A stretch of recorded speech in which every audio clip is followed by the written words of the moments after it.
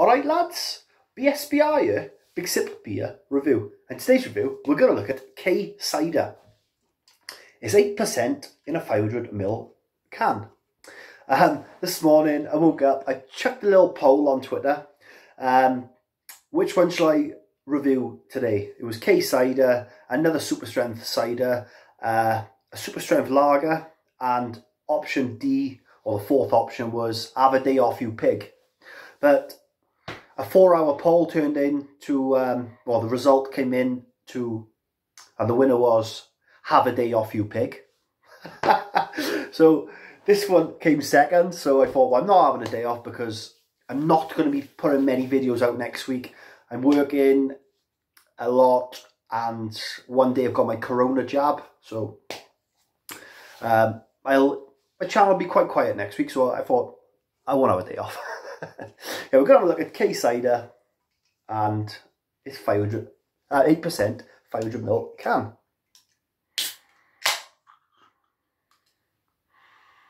Oh, pongs of um, pongs, isn't it? Word for me. Apples then.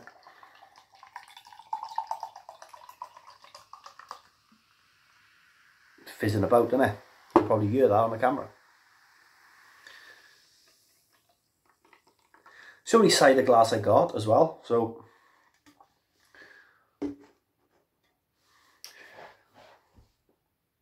Look at dark orange colour with fast carbonation rising up the glass. And the aroma. Full on apples. It is full on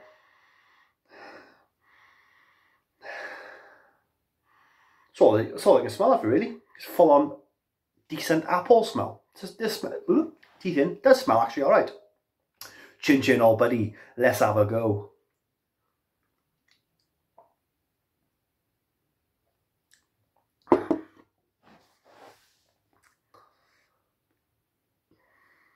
Oh.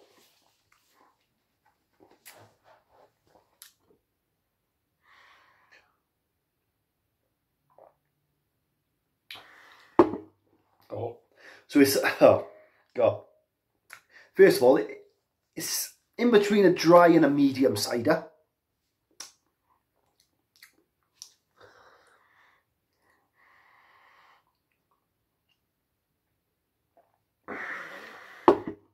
Oh, oh, I don't like it. I don't like it. Um, you get a full-on apple taste, but the apple taste is quite vine vinegary if you get me or, or understand it. Um,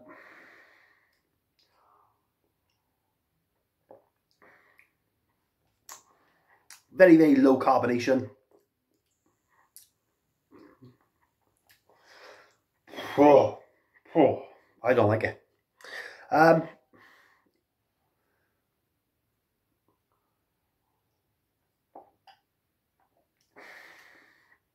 oh, it's quite tinny as well. Don't know how long it's been in the can for. Don't know if it's, I don't know how long. Best before the 8th, 2021. So it's only got two months life left, isn't it? It's six now, or no, we're the fifth now, aren't we? Three months left. So it could have been canned for a long, long time. Um, it's quite tinny. There is a little bit of apple taste on it, but the apple taste is quite vinegary. Um, yes, it's not for me. Oh, quite sour on the back end as well. I used to be a cider drinker. I don't review many ciders because I don't drink cider no more. Um, and if I do drink cider, it'll just be like a one bottle or um, I'll never get a box of cider in. Um, I used to be a cider drinker, but moved away and moved on to other things. Um, this one, that's not the best. Quite tinny. Um, the apple taste is quite vinegary and it's quite sour on the back end. Eight percent. That's actually quite. It's actually quite well hidden because you can get a four percent cider which tastes like that. So the eight percent is quite is very well very well hidden, but it's not for me. So let's have a look at Big sit building ability.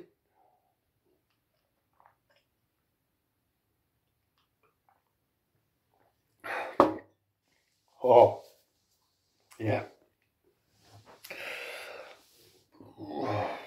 Oh, don't like that. Um, saying that, it's not the worst cider I ever had. It's not. Um, I had a cider gift pack off my sister for Christmas, and I had to sink one of them. It was that bad. I, I actually chucked it down the sink. It was terrible. And that was probably the worst cider I've ever tasted. I'll never name the cider because I, I don't do stuff like that, but that one did go down the sink. Um, I'm glad I done it because I always um, always see you in the supermarket floating about. Um, I won't pick it up ever again, but I've done it. I've ticked it off. I'm going to give it a big sip rate. It's a 3 out of 10 for me because it's not horrific, but it's just above that for me personally. Yeah, cheers lads. More reviews to come. More reviews to date. Big sip.